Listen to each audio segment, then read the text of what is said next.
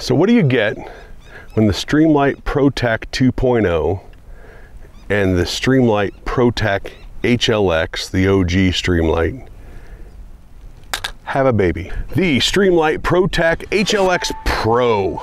Let's get into it.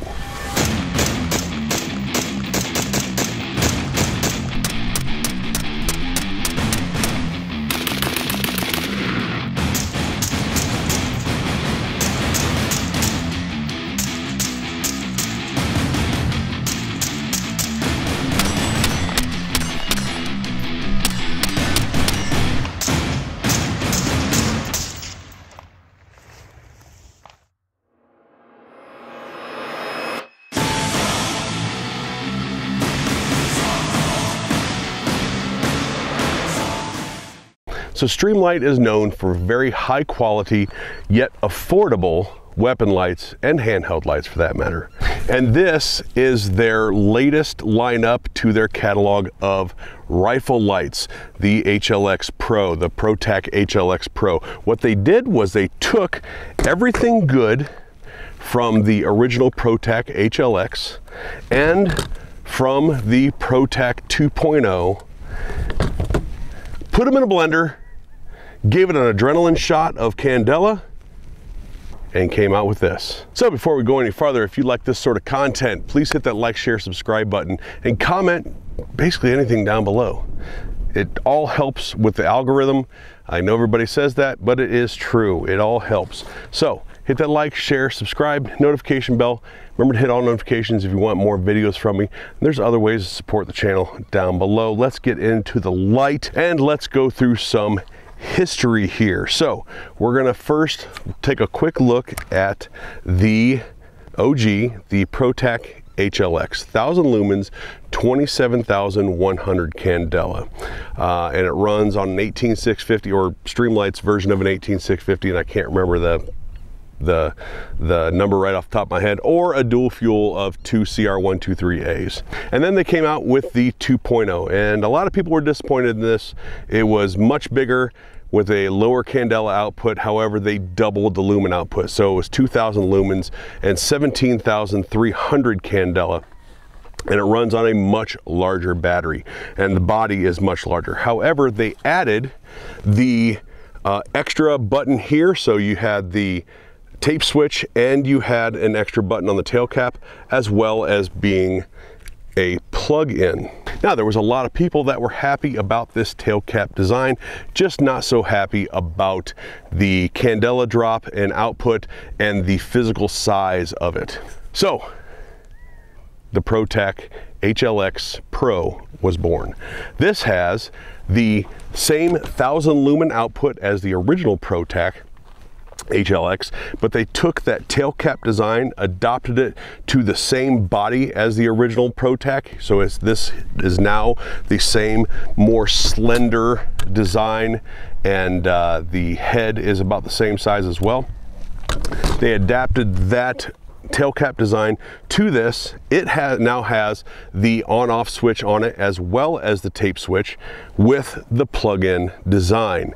Now, while I think all three of these lights have a place in your potential lineup.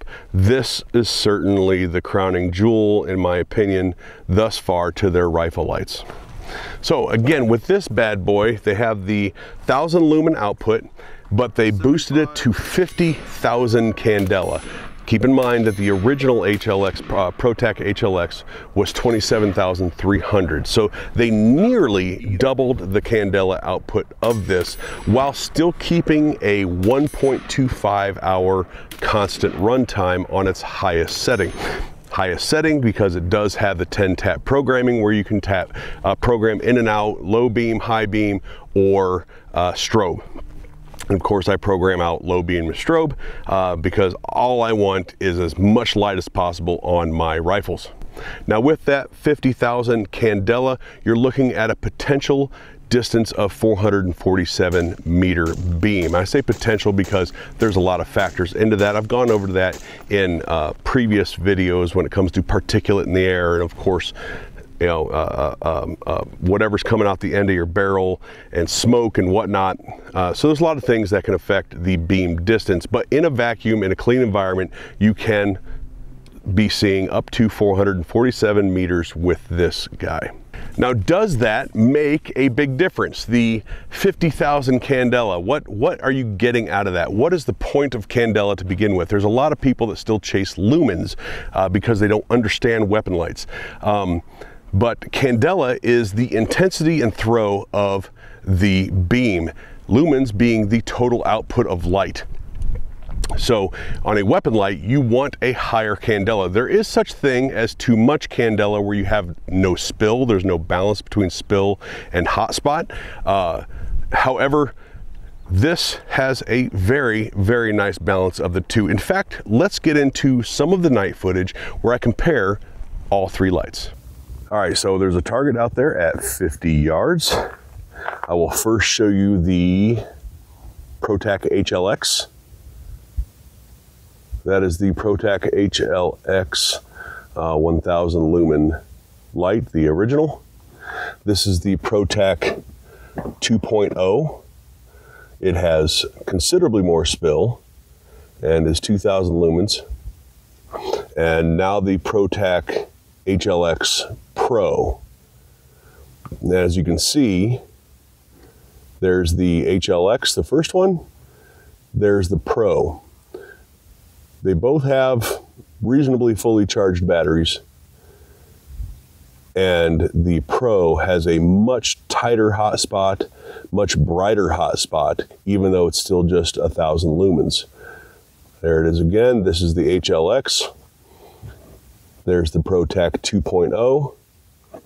And oh. there is the ProTac Pro. Now I have it up in my hand here and we're going to go back and forth. This is the HLX, the ProTac HLX. And you can see how fast the spill goes away from the target.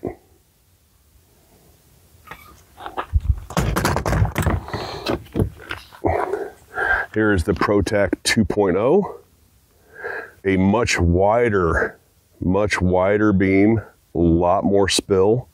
The target's not quite as defined as with the HLX.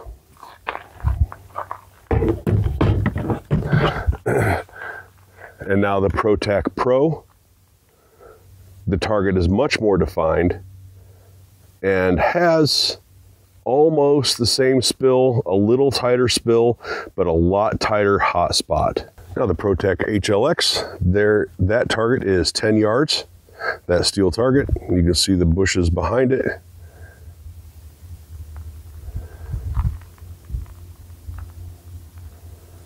That bush there is about 30 yards. That bush there. The ProTac 2.0, there is that same steel target. There is that bush, again, a much wider hot spot, more spill.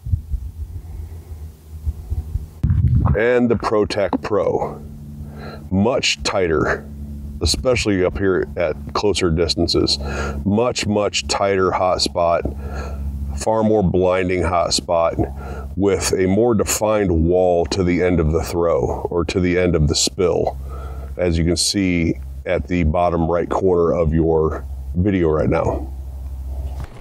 Now with that, you are also getting a 45 degree offset mount, which is what I have here instead of being just sideways mounted, which you can still do if that's something, if you're running like an IR unit on top and you need the space, you can move this to where it is straight three o'clock or nine o'clock. Uh, of course, using the tape switch. You're getting, in my opinion, a better tape switch and of course this beautiful cap that has the backup button on it. And I say backup button because if you don't want to use the tape switch, you can use this, you can use the button on the tail cap especially if you have it on the left side or right side, whichever hand your sport hand's on. Or if your tail cap, your, your tape switch goes down, you still have a backup button to run the unit. What are you expecting to pay for something that has nearly doubled the Candela output, all kinds of new stuff on the back here that increases the capabilities of the light. What are you, what's the price hike? What are you really paying for? Well, take out the second mortgage of your house because this bad boy comes in at about 150 bucks. Pretty darn affordable for what you're getting. They took the best of both worlds with the ProTac 2.0 and the original HLX and came out with the Pro. I think it's awesome. Uh, I'm going to leave a link down below to where you can look at it yourself, see if it's something that you want to invest in. Uh, if you do not have a rifle light yet, this is something that I seriously and legitimately recommend. Thank you for watching out there. I appreciate everybody's support. Again, if you like this sort of content, hit that like, share, subscribe button, all that good stuff. Leave a comment down below, especially your experiences with Streamlight products because I'm guessing most of it's positive. Thank you to Streamlight for sending this out to me and a couple other lights that you'll be seeing in the very near future. I love their products, been buying their products forever and will continue to do so. Thank you guys for watching and we'll talk to you later.